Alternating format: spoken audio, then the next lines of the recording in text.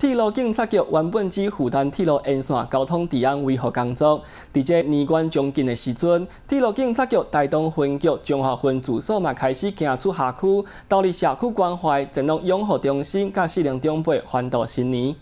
铁路警察局台中分局中华分驻所的人员，前往中华市一间安养中心，甲中心内时代开讲，关心因的生活状况。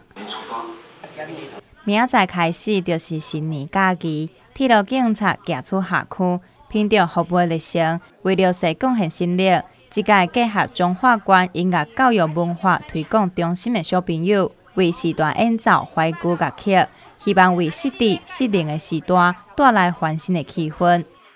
实际上呢，我们铁路警察哈，其实一般民众比较不熟悉。那么我们就想说，要走出辖区，慢慢的把我们所有的呃有现有的资源呢，可以分享给附近的民众，甚至是弱势。那因为现在年关也近了哈，有一些失智失能的长辈，他们的确需要一些照顾。那么我们呃心有余力呢，我们会把我们的关怀然后散播出去。那有关于交通部分，因为现在年节也近了哈，那交通流量也非常的大，那提醒民众在行经平交道的时候，必务必要停看停。那去年七月一号以后，我们最高罚款已经修到九万块了。那提醒各位民众，就是千万千万不要闯越平交道。时段虽然需要的就是出来人的陪伴，所以铁路警察局拍破以往的限制，行出辖区陪伴社区时段过新年。